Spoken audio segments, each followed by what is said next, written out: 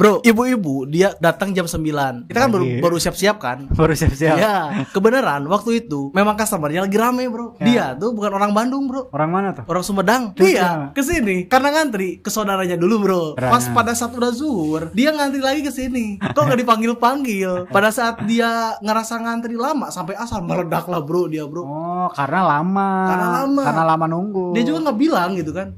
Ya udah, lebih baik ya dia bertanya, kok saya belum dipanggil gitu kan. Iya. Mungkin kita udah proses. Pada saat eh, kita mau bantu pengecekan awal, des kok dibongkar gitu kan. Sampai ibu-ibu. kita mau sholat asar, akhirnya ribut rame di sana, Bro. Solusinya gimana tuh, Tong? Solusinya kalau ada ibu-ibu harus banyak sabar. Solusinya sabar. Iya. Oh, berarti itu solusinya. Kalau nggak tahu tuh bertanya. Kalau malu bertanya sesat di di Bank Aminah mulai dari Iya. Let's go.